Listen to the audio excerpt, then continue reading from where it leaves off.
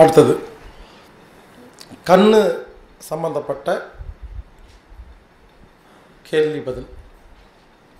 கண்ணில் கிட்ட பார்வை தூரப்பார்வை குளுக்கோமா கண்ணில் புறை இருக்குது சரியாக கண் தெரிய மாட்டேங்குது. கண் வலி எரிச்சல் கண் வந்து சிவப்பாகுது. இந்த மாதிரி கண் சம்பந்தப்பட்ட எல்லா கேள்விகளுக்கும் ஒரே பதில்.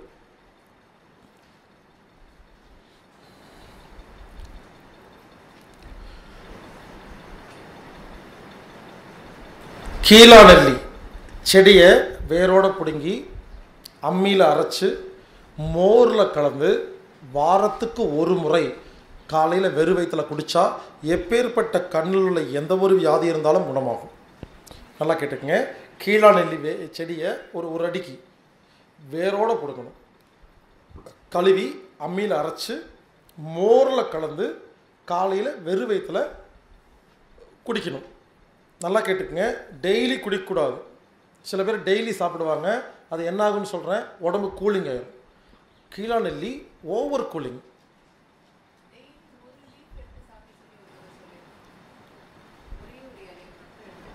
தாங்க டெய்லி ஒரு இலையை சாப்பிட்லாம்.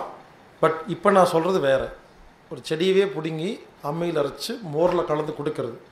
அது வாரத்துக்கு ஒரு நாள் தான் பண்ணணும் வாரத்துக்கு ஒரு நாள் பண்ணும் பொழுது உங்களுக்கு ஓகேயா இருக்கும். டெய்லி பண்ண என்னாங்கன்னா ஓவர் கூலிங் ஆகிரும் புரிஞ்சுக்கங்க? கீழா நெல்லிங்கிறது ஒரு கூலிங்கான ஒரு பொருள். குளிர்ச்சி. அது உடல் உழைப்பு இல்லாதவங்களுக்கெல்லாம் ஒத்து வராது. ஏதோ கடினமான உழைப்பு இருக்கிறவங்க சாப்பிட்லாம்.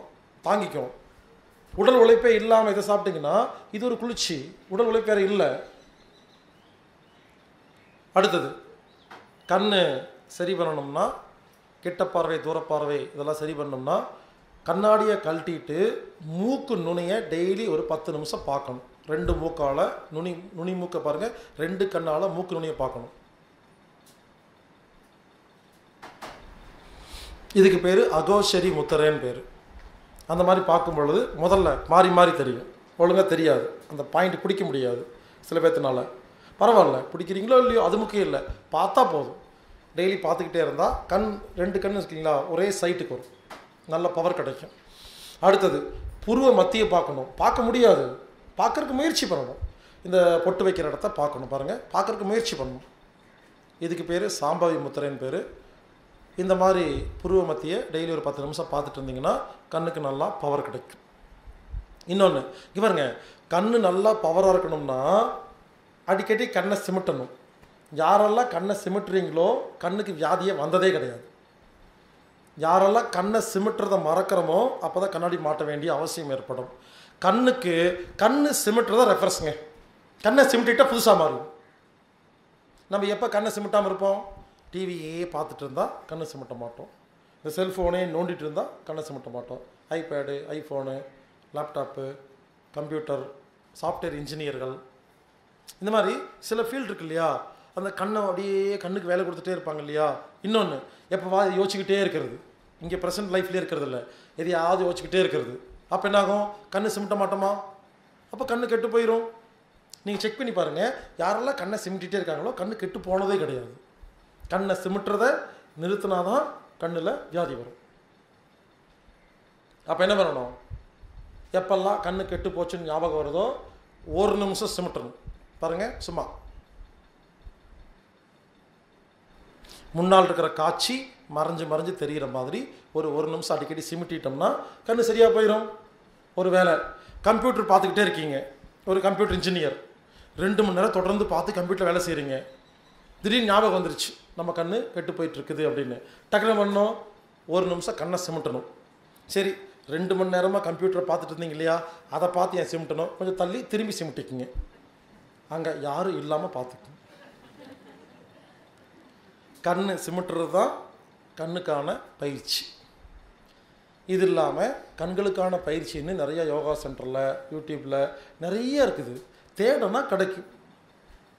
இப்போ ஒரு முக்கியமான விஷயம் சொல்கிறேன் நீங்கள் எதை தேடுகிறீர்களோ அது உங்களிடம் இருக்கும் வரும். நம்ம என்ன தேடுறோம்? காசு பணம் நகை இடம் வீடு புகழ் காரு தேடுறோமா? அது உங்ககிட்ட இருக்குது.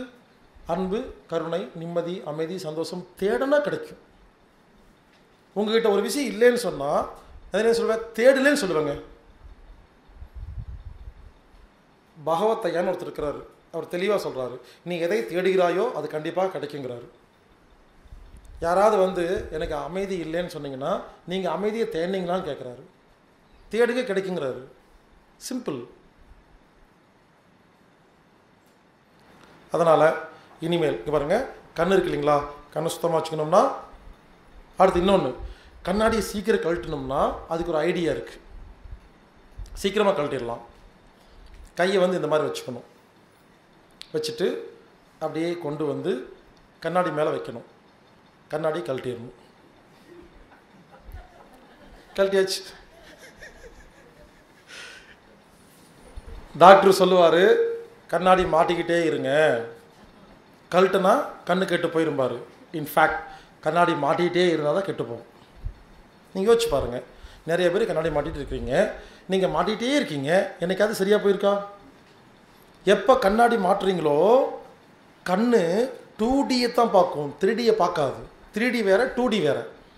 வெறுங்கண்ணில் பார்க்கும்போது த்ரீ டைமென்ஷனல் வியூ கண்ணாடி மாட்டிட்டிங்கன்னா டூ டைமென்ஷனல் வியூ தான் தெரியும். கண்ணாடி வரைக்கும் கண்ணு ஃபோக்கஸ் பண்ணும். அதுக்கப்புறம் கண்ணாடி பின்பத்தின் மூலிமா கிடைக்கிற பொருளை தான் பார்க்குமே தவிர அது போகிறதுக்கு இடம் இல்லை. வெறுங்கண்ணில் பாருங்கள் கேமரா அந்த ப்ரொஜெக்டர் லைட்டு பவரு சொம்பு. பார்க்குறோமா இல்லையா? கண்ணு டென்ஸ் டின் டிஸ்டன்ஸ் மாறுதா இல்லையா? டக்கு ஒரு செகண்ட் எவ்வளோ மாறுது? வண்ணங்கள் கலர் ஆங்கிள் லைட்டிங் மாறுதா இல்லையா? அப்போ தான் கண்ணு பயிற்சி பண்ணும். கண்ணாடி மாட்டிட்டிங்கன்னா அந்த ஃபோக்கல் லென்த்து கம்மியாயிரும். அந்த கண்ணாடியில் பட்டு பட்டே கண்ணு கட்டு போயிருங்க. அதனால் ஒரு நாளைக்கு எவ்வளவு நிமிடம் எவ்வளவு மணி நேரம் கண்ணாடியை கழட்டி வைக்கிறீங்களோ அவ்வளவு சீக்கிரம் கண்ணு சரியாக போயிடும் அதுக்கு என்ன பண்ணணும்? ஒரு நாளில் எப்பப்பெல்லாம் முடியுமோ கண்ணாடியை கழட்டி வைங்க. உதாரணத்துக்கு ஒரு புக்கு படிக்கிறீங்க. கண்ணாடி மாட்டலைன்னா புக்கு படிக்க முடியாது. அப்போ மாட்டிக்குங்க. ஒரு பஸ்ஸு தூரமாக வருது நம்பர் பார்க்கணும். மாட்டிக்குங்க. வீட்டில் சும்மா உட்காந்துருக்கீங்க ஃப்ரெண்ட்ஸோட அரட்டை அடிச்சிட்டு இருக்கீங்க. அதுக்கு இது கண்ணாடி? சரி இந்த மாதிரி இப்போ மீட்டிங் வந்து உட்காந்துருக்கீங்க என் மூஞ்சி பார்த்தாச்சு ஒரு நாள் ஃபுல்லாக இனிமேல் இது கண்ணாடி? அந்த மாதிரி எப்பப்பெல்லாம் வாய்ப்பு இருக்கோ அப்பப்பெல்லாம் கண்ணாடி கழட்டிடணும். கழட்டிட்டு வெறுங்கண்ணில் பார்த்து பழகுங்க. கண் என்ன பண்ணும்? ஜூம் பண்ணி ஜூம் பண்ணி ஜூம் பண்ணி பழகிடும்.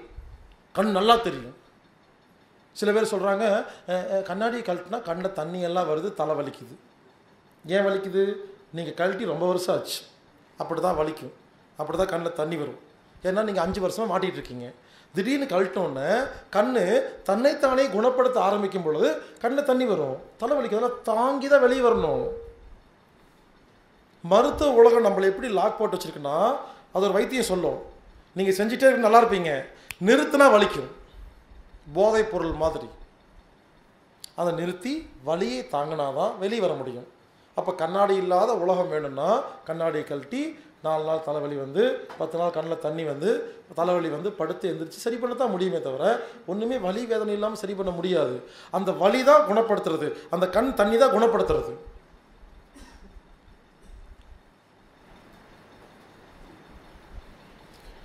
அதனால் இனிமேல் கண்ணில் யாருக்காவது எந்த வலி வேதனை கிட்ட பார்வை தூர பார்வை குளுக்கோமா கண்ணில் புறை இருக்குது கண்ணில் எரிச்சல் இருக்குது கண் ரெட் ஆகுது போன்ற கண் சம்மந்தப்பட்ட எல்லா விஷயங்களுக்கும் என்ன வைத்தியம்னா கண்ணை சிமிட்டுதல் கீழாநெல்லியை சாப்பிடுதல் மூக்கு நுனியை பார்த்தல் புருவ மத்தியை பார்த்தல் ஒரு நாளைக்கு எவ்வளோ முடியுமோ கண்ணாடி கழட்டிகிட்டு இருக்கிறது கேரட்டு கீரைகள் இதெல்லாம் நிறையா சாப்பிட்றது. டெய்லி ஒரு கேரட்டை பச்சையாக வாயில் போட்டு நல்லா மென்று சாப்பிட்டாவே கண் சரியாக போயிருங்க. இவருங்க கேரட்டை பச்சையாக சாப்பிட சொன்னேன். பச்சை கேரட்டை சாப்பிட சொன்னேன். ஒருத்தர் அப்படி தான் எனக்கு ஃபோன் பண்ணி சார் பச்சை கேரட்டை சாப்பிட்றதா ஆரஞ்சு கேரட்டை சாப்பிட்றதான்னு கேட்டார் கேரட்டை பச்சையாக சாப்பிடுங்கன்னா வேக வைக்காமல் சாப்பிடுங்கன்னு அர்த்தம். இப்படிலாங்க எதுவுமே பேசும்போது யோசிச்சு பேச வேண்டியதாக இருக்குது ஒரு தடவை அப்படி தான் கருப்பாக மலம் போனால் உயிர் போகும்னு ஒரு தடவை பேசியிருந்தேன். ஸ்ரீலங்காலேருந்து ஒரு அம்மா ஃபோன் பண்ணாங்க.